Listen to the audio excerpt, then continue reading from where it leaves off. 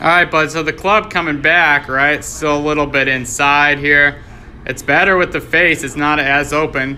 You used to still really, you really flare that open. I'd like to see the shaft just a little more vertical, okay?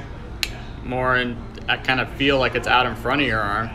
Okay, then as you come back, right, right in here, I'd like you to feel as though your club can work a little bit more on that line as opposed to kind of an overswing. See your right arm kind of over climbs a little bit and then it starts going out. So I don't like this initial move where at that point, that left knee, right, still has a ton of fold in it. Like you should be a little bit shorter and then that left knee is gonna go kind of up and around at this point. Your pressure is gonna shift forward, leg's gonna go kind of up and around, and I'll show you what I mean by that.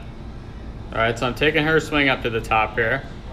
Okay, now watch. It's a little shorter. When you get up here, you should pretty much be done at that point. Okay, see how you kind of drift off? Watch that left knee. See how it's still folded? Weight gets out on the toe, kind of the same stuff we've been working on. Then it pulls down steep. I want you to be able to stop more in here. All right, watch her. She's she kind of lays the club down, but now watch her leg. See how there's not as much motion out onto her lead toe. I can't draw. See that? See how her leg right here, it's already starting to disappear.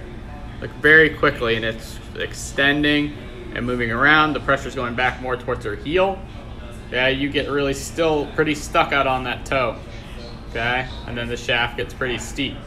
So I want that leg to disappear and go around. All right, and then we're gonna have the shaft shallower. Okay? With all that being said, I love the bucket hat. Keep up the hard work. Okay?